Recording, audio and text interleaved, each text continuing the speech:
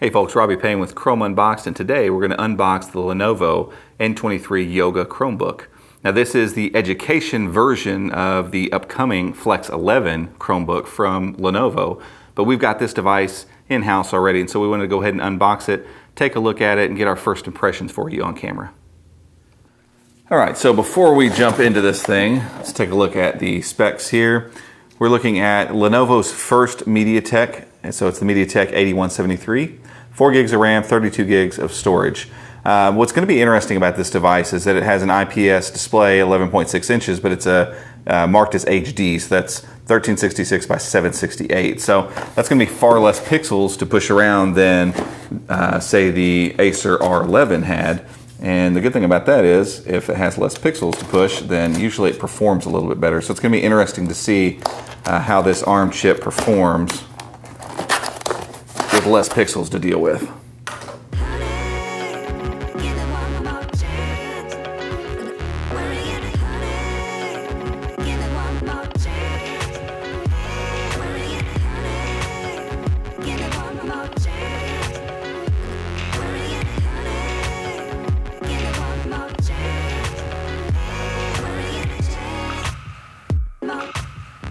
All right, so um, relatively heavy, but a compact package. Uh, thing is not massive. Uh, doesn't look to be collecting a lot of fingerprints, which is always nice. Uh, it's kind of got a, a, really matte, almost textured plastic finish. Uh, what looks like kind of bumpers around the side, possibly. And the same finish on the bottom, screws, speaker ports, all that kind of stuff. Now this is a Yoga branded device, so we've got the Yoga hinge. Um, around the side over here, we've got a Kensington lock, power, volume up and down, headphone microphone, nothing across the front. And over here on the side, full size HDMI, uh, USB 3.0, and then a USB-C for power uh, display out, hopefully. We'll test that and see if we can get dual display out going with these. Sometimes they can use USB-C for power only, but we're hoping that's not the case. And then a full-size micro SD card slot. Let's open this guy up. And we've got a full glass panel across, which is kind of sweet. Um, hopefully, because this is Lenovo, it's going to have a pretty nice uh, keyboard trackpad combo going on here. Uh, surface feels pretty good. Click feels nice, if not a little firm, uh, but pretty good. Pretty large size on the trackpad as well, um, as large as my entire hand. Uh, really good click on the keyboard, actually. Uh, pretty good response. Uh, not a ton of travel, and there's a little bit of give, just a little bit. Um, but overall, that keyboard feels pretty good. So I think that's going to be a good typing experience. Again, like I said, it's a yoga device, so we've got the multiple modes we can jump into. And obviously, because of the thickness of this device, um, it is smaller, so that helps uh, as far as you know the tablet mode. But it's still going to be a little unwieldy, and it's it's pretty large as a tablet. But overall, if you need to get those kind of display modes going, such as this, it is kind of nice to have on your lap um, or on a table like this where you can use those touchscreen apps. So in the box, you get a pretty standard charging block. It is a little bit smaller, which is kind of nice, but it's still a two-piece. Um, nothing fancy going on here. It is USB Type-C, which is pretty cool. Um, like I said, we will try some multi-display outs and all that kind of stuff with this as we have a full-size HDMI and a micro uh, or a USB Type-C over here. Um, that that's an interesting combination because usually we're seeing as people are moving to USB Type-C, they're just kind of nixing any kind of uh, display out. But as this is an EDU focused device, it's probably a lot simpler to have the HDMI on there. They've got the room because the device is a little bit thicker, and it's probably more straightforward to be able to get people into um, sharing the display onto the big screen. So we're to run an Octane score on here. And I will say uh, a couple things just as I've uh, been poking around on here just a little bit. Uh, the trackpad is marred by that same issue we have with a lot of cheap Chromebooks where there's a slight bit of travel before the click actually registers. So there's travel, then you hit the click mechanism and you get the click. So if you were to depress on there and, and push it against the click mechanism and then click it, it actually feels really good. Likely, um, I don't necessarily recommend that you open your Chromebook up, but there's usually uh, a couple springs here that kind of hinge the, the device back up. likewise here that kind of push it up from the bottom. So this is the hinge itself, and these are the springs that push up. You can adjust between those two and usually find the right balance. And sometimes they just come out of the factory with the wrong balance on these cheaper trackpads, but that can be adjusted and it looks like you can probably pop this open and work on it pretty easily, I would think. Um, overall, thus far though, um, the performance has felt pretty snappy. Like getting all the, we, we kind of cut this off camera, but getting all the stuff that normally installs, uh, installed actually really quickly. Um, and I know, I know Octane is retired and it's not technically being updated anymore for the time being until we come up with some other type of testing.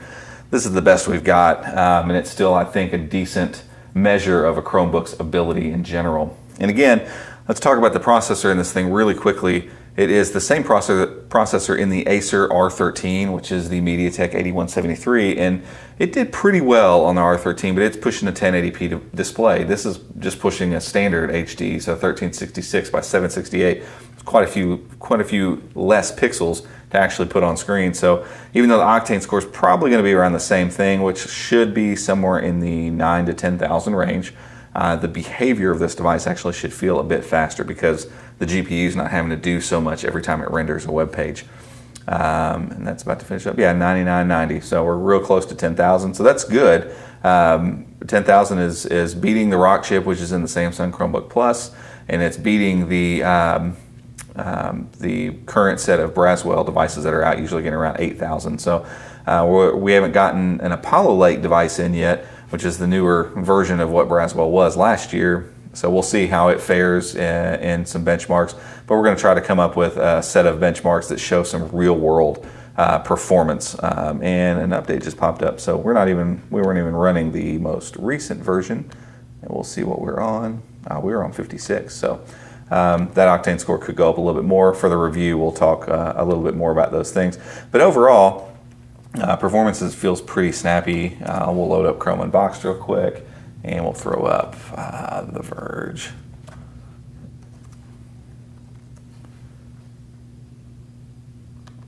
And our site's usually not too heavy or too intense, but you can see it's it rendered it up really quick. We do have relatively fast internet here, but um, I've seen some devices struggle through our website just a little bit because there's videos and there's pictures involved. Uh, there's a little bit of a stutter there, but really, um, I'm pretty impressed by how smooth everything is working right now. Let's get a little pinch to zoom action down the page. So all that looks nice and snappy. Um, so initial impressions, um, pretty favorable here, uh, and especially at the price point we're talking. Um, th this thing's going to move around in its price range, somewhere between 230 and 270, 80 dollars, something like that. Um, it, with a better trackpad, um, I would say this is shaping up to be a really great Chromebook around the house. Um, the display looks pretty good, decently bright.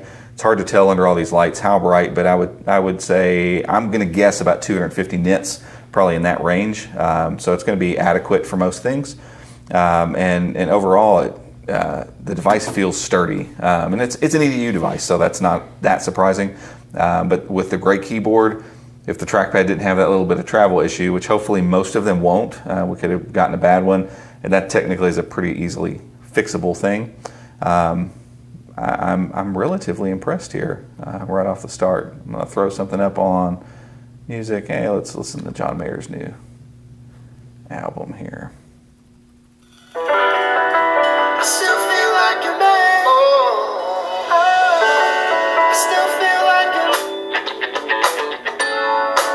Um, and here's what I'll say.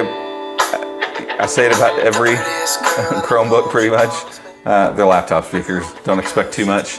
They're downward firing, and you can clearly hear a difference when I remove it from the table. So they're, yeah, if I cover them up, it muffles the sound pretty good. So it's going to perform so-so in your lap. If you have it flipped around in display mode, the nice thing is those speakers point upwards. Um,